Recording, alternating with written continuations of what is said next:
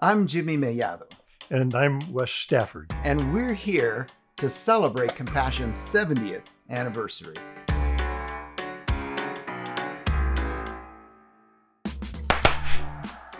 Oh, Oh, I like that. Describe what compassion was like when you first began. wow. Well, you got to go. You got to go back a long ways. It was 1977. Okay. I was hired uh, to lead Compassion's work in Haiti. I worked at Compassion for 16 years, and then in 1993 I became its president. When I came uh, nine years ago in 2013, what I saw was a ministry that was still dedicated to following Jesus.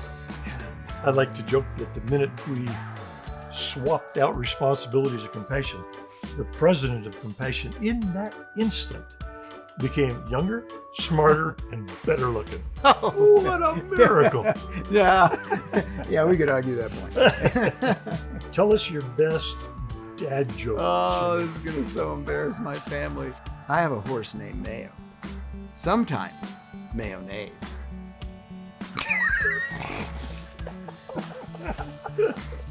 I actually don't have dad jokes because dad jokes are generally silly jokes, and almost all my jokes are just hilarious.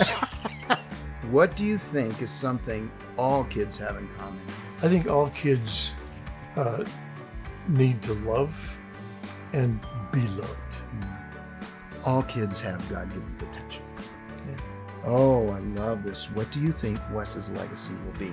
It was under your leadership that the tagline, releasing children from poverty in Jesus' name, was established. And I handed off the leadership of this organization after 20 years to you uh, because I deeply, deeply sensed that I couldn't take it into the next chapter, but you could. What are your hopes for the future? My hope for the future is that we would be, as a ministry, that we would be able to reach the most children possible.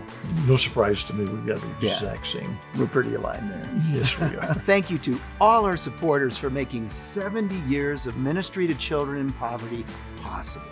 Today, we not only celebrate God's amazing faithfulness over the years, but we also celebrate you.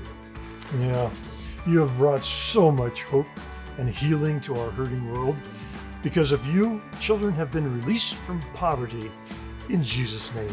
So happy anniversary.